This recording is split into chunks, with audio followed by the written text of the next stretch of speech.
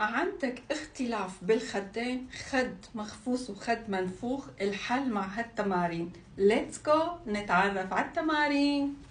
يسعد أوقاتكم عائلتي الحلوة أنا قد أنثى بتمنى تكونوا بصحة وخير بأول يوم من أيام رمضان. اليوم رح نحكي عن نقطة كثير من الصبايا خبروني بالتعليقات عن الاختلاف بين الخدين. خد بتلاقيه مخفوص وخد بتلاقيه منفوخ.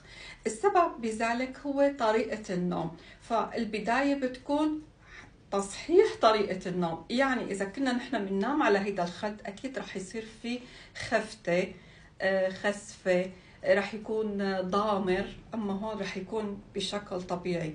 فالحل إنه نحن نوازن بالنوم بين اليمين واليسار والأحسن ننام على ظهرنا فهيك بنحمي الوجه من التجاعيد. أما التمارين فهي كتير سهلة. أول تمرين رح نتم... رح نشتغل على الجهة اللي هي تعبانة. ما الجهة الكويسة؟ الجهة التعبانة بننام عليها كتير.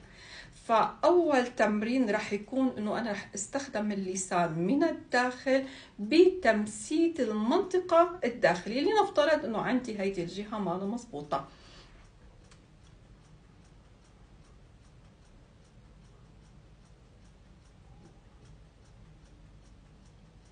تقريبا بنكرر هذه الحركة 20 ثانية فقط ما ضروري أكثر.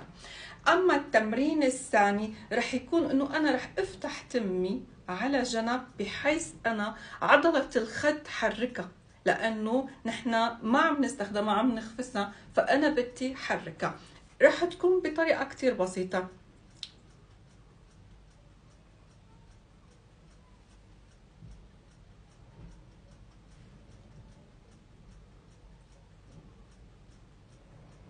رح استخدم اللسان أيضا من الداخل.